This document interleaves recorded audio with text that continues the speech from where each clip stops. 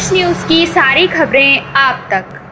Gandhinagar sub division की ACP Chandrakanta ने Gita colony थाने के एसएचओ संजय भट्ट के साथ मिलकर गीता कॉलोनी पुश्ते पर जाकर छठ घाट का जायजा लिया और छठ समिति के लोगों से मुलाकात की और कहा कि पूजा के वक्त सोशल डिस्टेंस होनी चाहिए, मास्क लगाना चाहिए, सरकार की गाइडलाइन का पालन होना चाहिए। इसके अलावा गीता कॉलोनी दस ब्लॉक के बराबर में भी जो छठ घाट बना हुआ है, वहाँ पर भी जाकर जायजा लिया, क्योंकि बुधवार की शाम से लोग पूजा करने लगेंगे। उससे पहले ही तमाम सुरक्षा व्यवस्था का जायजा लिया है। इसके अलावा सिविल डिफेंस के वॉलेंटियर भी तैनात किए गए साथ ही पुलिस टीम भी तैनात की हुई है सुरक्षा व्यवस्था को देखते हुए, जहाँ आप देख सकते हैं कि गीता कॉलोनी शमशान घाट के पास का ये इलाका है, जहाँ पर 2019 के बाद अब रौनक देखने को मिली है। 2020 के अंदर ये फल फ्रूट की बाज़ार नहीं लगाए गए थे, कोरोना ज़्यादा था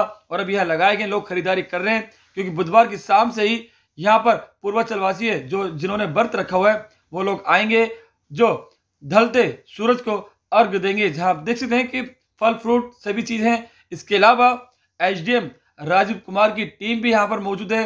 समय समय पर सभी को गाइडलाइन का पालन करने के लिए बता रही है और खुद एसीपी चंद्रकांता भी आई हैं। उन्होंने छठ पूजा समिति के लोगों के साथ मुलाकात करते कहा कि तमाम चीज़ें जो यहाँ पर तैनात की गई हैं, पुलिस की तरफ़ से भी, सिविल डिफेंस के वॉलेंटियर भी किए गए हैं और सोशल डिस्टेंस का पालन भी करना है और अगर उल्लंघन किया तो कानूनी कार्रवाई भी की जाएगी क्योंकि कोरोना अभी खत्म नहीं हुआ है।